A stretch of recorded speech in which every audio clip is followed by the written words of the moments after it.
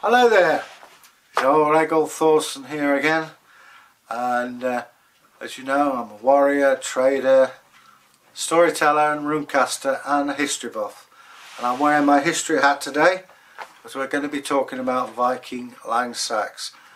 But first of all don't forget to press the old subscription bell and leave us a comment, we're always happy about this. Recent figures have shown that you're very interested in combat weapons and that's jolly good. And today we're going to talk about the Viking Langseax and later on we'll do one on Saxon Langseaxes. So let's drag one out and here we have a Viking Langseax. This means long knife basically, or today I suppose we'd call it a machete. It's a weapon that takes a lot less uh, iron to make and is jolly useful. Imagine this in close quarter.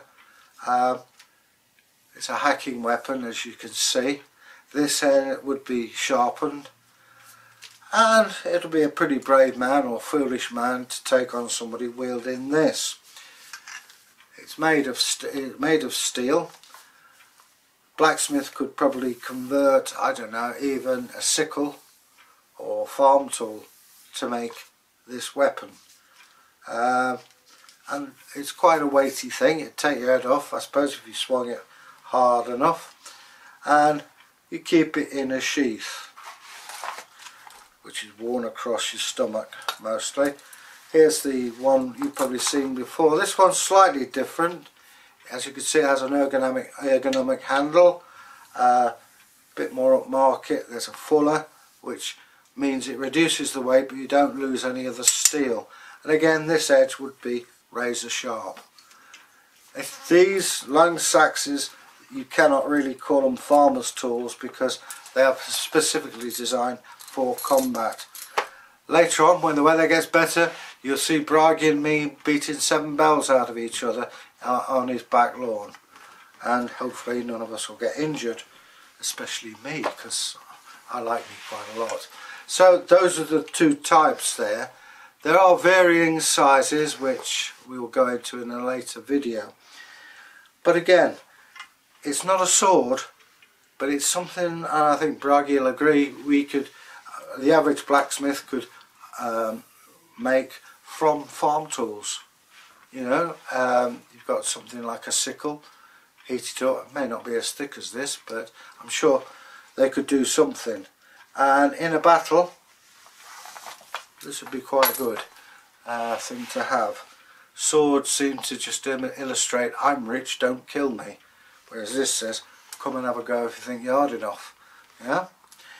So the Viking long seax it was also a sign of your freedom when you went to the old thing and asked for a vote, drew your weapon, hence you have the Wapentake, which is weapon take, and if Bragi is given and say who's in favour of it, say aye, aye, or if I'm not, no, and that way you could keep account of things.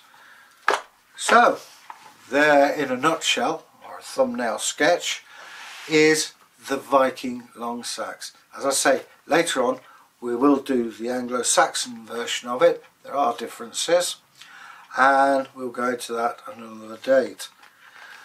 But don't despise the Langseax, all you people in reenactors.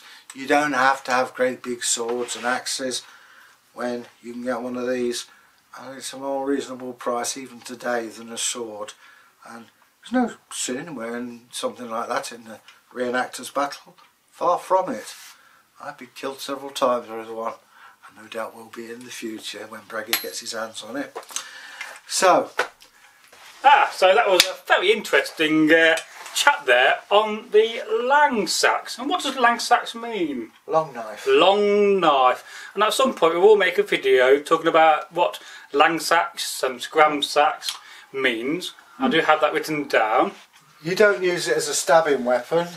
You Ouch. use it as a slashing weapon. Yes. You soon find out if you've got any guts or not. But it's like you can use it one-handed or of course two-handed, which means you give it greater woof. Yes, I prefer one-handed with a shield personally. Yeah, because you've not. If you're using it two-handed, you don't have a shield. Or you go behind the shield wall of your own people, using them as a shield. Here's a shield. Good old Bragi. Now you face the other way. I'm behind you. All right, sorry.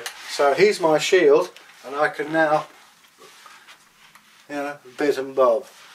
But, So I'm slightly taller for this camera. yeah, well, I'm back. it's not that you're tall; it's that I'm not very tall. So, a very useful weapon, and not many people. They all go to swords and big axes. Yeah, of course. So the Langseax is so Yeah. underestimated. It's such a fantastic weapon. I really do Yeah. love a Langseax. Well, well, there was a time when I only had a langseax. I had a sword that broke, Oh, and it was converted into a langseax, which then converted into scrap, I believe.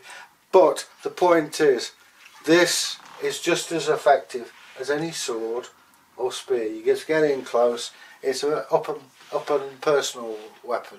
So, yeah, Yeah. don't don't run it down. no, I love the Langseax. I think fact- it's a very good weapon. You should, if you've got a sword, you should be proficient in this, in the axe, and the spear. I mean, I think a good warrior should have a sword and a Langseax. Yeah. Personally, if you wanted to carry that weight, some of them wouldn't. But let's face it, you could drop your sword in battle. Yeah. You want to quickly have at hand a second weapon. You haven't got an axe. The Langseax is very useful for that. Very, very. You know, and you got the reach. Yeah. And what are they Oh. made out of these weapons? Well, steel blade, and the handles can be made of wood. In this case, you can have any organic material. I think wood would probably be the most useful. And this is a wooden turned handle in the Norwegian style. And you've heard me talk about ergonomic. It Yes. fits the hand. Yes, that's what that means. Yep, it fits the hand beautifully. And of course, when you're fighting, you'll have gloves on, and you get sweaty, and things like this look good, but they tend to slip. This doesn't, and that means the difference between killing your enemy, or yeah, in reenacted terms, or ending up being killed. Oh, indeed.